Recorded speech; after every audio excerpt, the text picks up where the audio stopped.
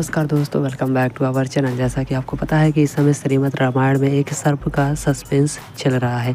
Basically इसके बाद जो है मुझे लग रहा है कि लव कुश अब जो है भगवान राम के समक्ष जाने वाले हैं उनसे युद्ध करने के लिए। क्योंकि आज के जो एपिसोड में दिखाया गया है, कुछ इसी तरह से भली भांति प्रतीत होता हुआ नज़र आया है। आपको पता है कि माता सीता से अभी के दौरान में लक्ष्मण मिलने ही वाले थे, लेकिन बॉलीवुड की कुछ फ़िल्में वगैरह जैसे सीन डालकर माता सीता के सामने लक्ष्मण को नहीं आने दिया गया है। बेसिकली ये तो बात की बात रही। मुखरावन में कुछ नया प्लान कर रहा है। अब देखते हैं वो प्लान में कामयाब होता है या नहीं। गाँव वालों को भड़काने के प्लानिंग में लगा हुआ है। अब देखते हैं गाँव वाले उसके बातों में आते हैं या फिर नहीं।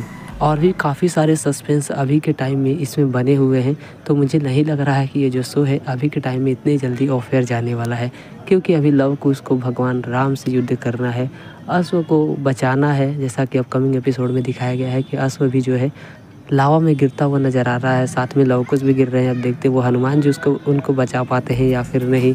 काफ़ी सारे सस्पेंस ऐसे हैं जो कि अभी के टाइम में क्लियर होते हुए नज़र नहीं आए हैं। बेसिकली इसके ऊपर आपका क्या राय है? नीचे कमेंट में अपना फीडबैक ज़रूर दीजिएगा। अधिक वीडियोज़ के लिए चैनल पहली बार आया हो तो सब्सक्राइब ज़रूर कर लीजिएगा। चलिए मिलते हैं किसी नेक्स्ट और इंटरेस्टिंग वीडियो में। तब तक के लिए जय